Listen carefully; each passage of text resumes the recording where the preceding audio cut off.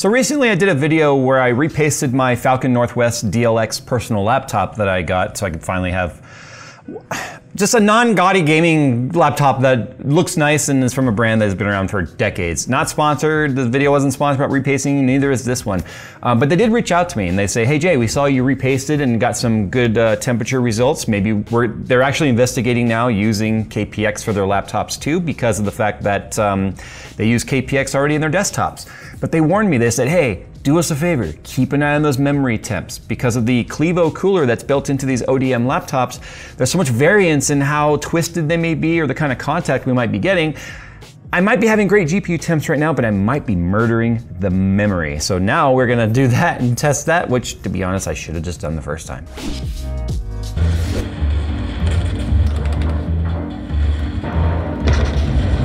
Hey, Jay. Jay. Mm. Jay. What? We got work to do. Yeah, I'm playing World of Warships. Yeah. World of Warships is the free-to-play naval strategy game where you command the most iconic and famous warships from World War I and World War II, recreated with stunning detail and accuracy. Build your fleet while participating in various game types while upgrading your ship's arsenal along the way. New players who sign up using my link below will receive an exclusive starter pack to get you up and running quickly by receiving 7 days premium time, 1 million credits, 300 doubloons, and the Tier 5 premium ship, the Exeter. So what are you guys waiting for? Start sinking ships with World of Warships by heading to the description below and getting your freebies. Okay, so for monitoring, you guys might remember last time we used their built-in, the built-in control center, which would show us, you know, our fan speed, and it would show us our clock speed and temperatures, and their GPU clock speed and temperature. And when it says off, it's because it switched to the Intel uh, internal graphics. Anyway, I don't even need this now, other than the fact that I have to recreate the testing scenario which I had before, which was lifted up the back of the PC. I don't know why only Asus came up with a somewhat similar design, which is when you open the lid with that, um, what was it, the start of the Z, Z Zephyrus? Zephyr, yeah, the Zephyrus, Zephyrus laptop. When you opened it up, a kickstand came down to create, like, it would lift it up off the table. And since all the cooling comes in from the bottom for the most part, um, I feel like laptops should have like, you know, keyboards have a little kick down, kick down feet. I think laptops need that just to get it up. So anyway, I'm using the power brick underneath it on the very back edge, so I'm not blocking any of the vents. Uh, and then also too, we had the fans set to maximum for the testing. I'm not gonna do that until I'm ready to start the test because they're very loud. Um, anyway, but because I used this, and I always use hardware monitor, I couldn't see memory temps or hotspot temps. So it was important to be able to see those because I could have very good GPU temps, but a hotspot temp on one part of the die maybe not getting good contact with the, the cold plate, which would mean then we're getting terrible um, throttling. Now the reason why I'm also checking this, and it's in perfect timing with that email they sent me, while we were at LTX, I let my daughter play on this PC because she went with my wife and I to LTX and she was in the Whale Land area um, gaming on this. And I asked her how it was performing because I've been playing Diablo and stuff on it, but she played some other stuff. She said it was good, but there was some stuttering and some hiccups and it was like kind of pausing. And then, so I'm like, uh oh, maybe I should check those temps, right? Anyway, we can see those now. So with the free version of Hardware Monitor, you can see memory temp, hotspot temp, and all that. And ironically, on the Pro trial, you can't. Pro tip, pro tip. Just get the free one. You can see everything you need and it doesn't expire or anything. So I don't know why they do that. Anyway, so memory's at 54C at idle, which is fairly warm, to be honest. So I'm already starting to get a little bit concerned that it may not be making good contact uh, with just having the thermal paste in between there. He was explaining to me, uh, the, the owner of Falcon Northwest was explaining to me that the type of pad that Clevo uses, who's the ODM for this laptop, uh, is a non-wet pad, if that makes sense. That's why it's not greasy. Um, it's more of a dry pad, but it is intended to squish and fill that gap. There's gaps that have to be filled.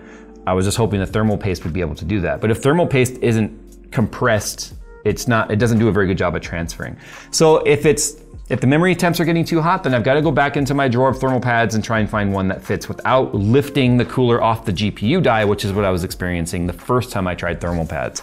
So, with all that explanation said, here we go. I'm gonna turn on the fans 100%, load it up with um, Port Royal looping like we did before, and we'll see if those temps get out of control. So I'm curious as to if we get a immediate temperature spike. So I said Port Royal, it's actually Speedway we were using. But I want to see if we get an immediate temperature spike on the memory. 60,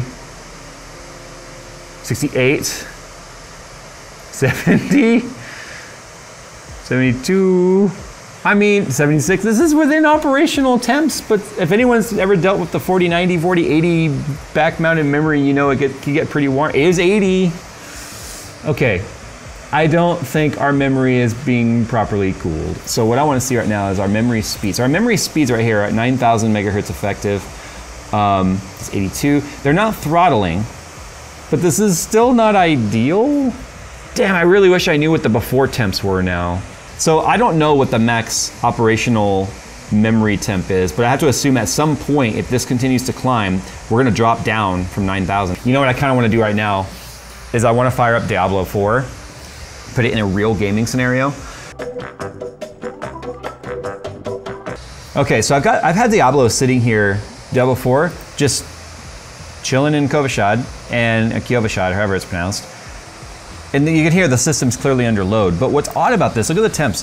GPU's lower, hotspot's lower. That makes sense on the GPU because this is not a ray tracing test, and Speedway is. So any of the RT cores are sitting in here basically doing nothing. Now I do have DLSS enabled, which is going to be making those tensor cores do something.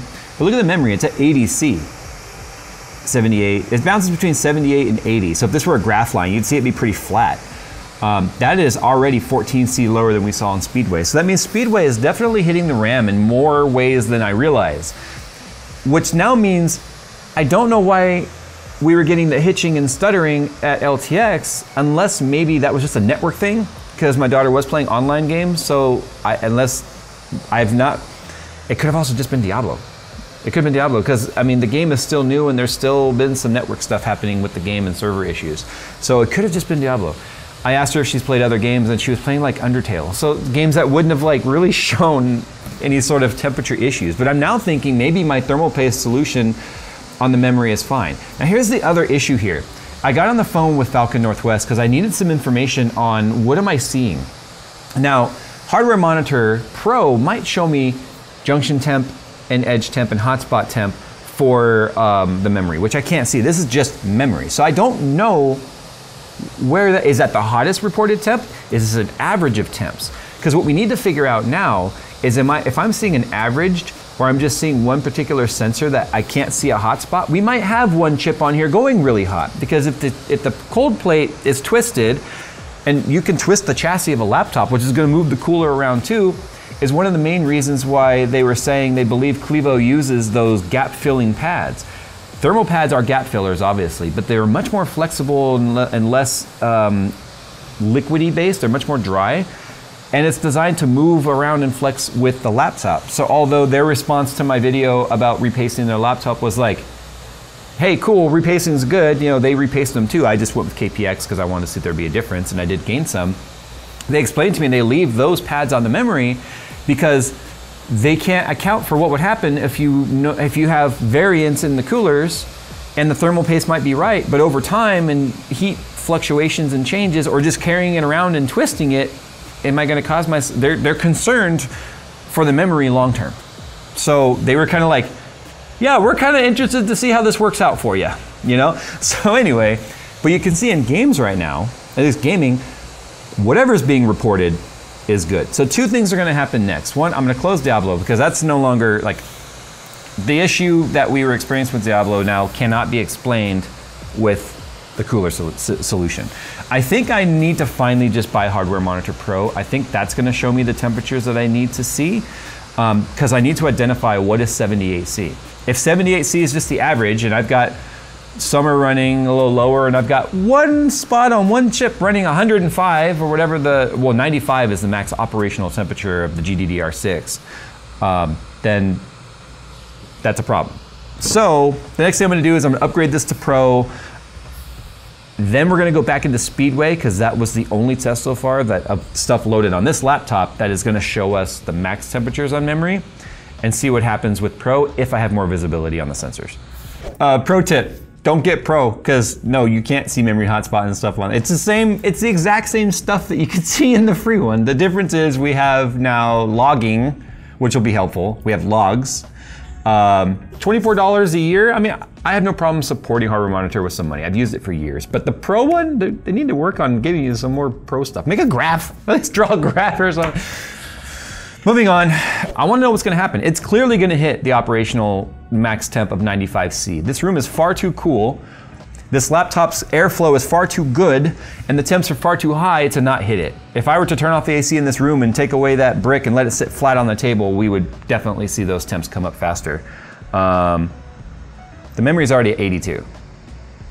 84. So clearly Speedway does its thing, but finding out that the max operational temperature was 95 and then whatever we find out what the TJ max is, I need to find out what's gonna happen. Is the memory clock gonna drop down or are we gonna see the GPU slow down? I don't know, to be honest. But we're already 86, 88. It's already hit 90 for a second, as you can see. There's 90. We won't have to wait long to find out. So it's uh, at 98C and then it bounces off 100 every now and then, but I've been watching and it's been running for like an hour now, by the way. We are plenty heat soaked. The GPU core temps are pretty much exactly where we expected them to be, but most importantly, the GPU frequencies are not suffering. So we were trying to figure out what would happen once it hits those max temperatures. What, what what's going to adjust to keep it from overheating? The memory has never dropped down. It has stayed at 9001 the entire time. And the, the graphics, as you can see, is bouncing between the 20, low 2200s and then hitting 2400 between when it's loading scenes. This is where the frequency's always been. So we did find out the spec sheet says 95C. That might be for G, like desktop GPUs. The memory might be a little different in the laptops, maybe just because they know they get hotter. I don't know. But at 100C, we're not seeing anything slow down. I also know in talking with Falcon Northwest that they've had these conversations with NVIDIA and it has been basically explicitly stated that these are the targets. It's designed to run this hot. And we know that, but we don't have to like that. Anyway, I don't think I need to take it apart and repaste it, but I'm gonna take it apart anyway because I am 100% curious now as to how much that thermal paste has spread on the RAM. If it still looks like a dollop when I take it off and it doesn't look like it has spread, you know, it's blue, it's easy to see, then we'll know that there may have been some hotter parts of the RAM. And so what I plan on doing is this is actually an old Vega, Vega block, uh, EK water blocks for Vega. I have these pre-cut RAM chip half mil super thin thermal pads. And what they used, what, what EK used to recommend back in the day was actually putting the thermal pad on the chip and then a drop of thermal paste on top of each pad. So I'm gonna try that next. I'm gonna put these pads on each one. I would love to try it with just the pad, but I'm, I'm not comfortable with that. I'm gonna do pad and thermal paste, let it do its thing, and then we'll check the temps, and that's probably where we'll end up leaving it. But there's been a lot of discovery about just some of the inconsistencies on the cooler that Clevo uses and their own installation process and where the screws and stuff are, that that thick clay pad that they use is honestly just a lazy fix for some manufacturing tolerance problems. Oh yeah, see look at that. There's there is no spread on the memory. So this is this is kind of a good thing. We obviously had really good. Look at the GPU. The GPU spread is like it's like a perfect. That was perfect, but of course, because nothing on the RAM was, there was no spread at all. Okay, so I'm glad I did this. I, I remember how I just said I didn't feel like I needed to. I'm glad I did. Let me clean this all up, and then I'll I'll put the thermal pad on there, and then the drop of thermal paste on the thermal pads. You guys can see what that looks like.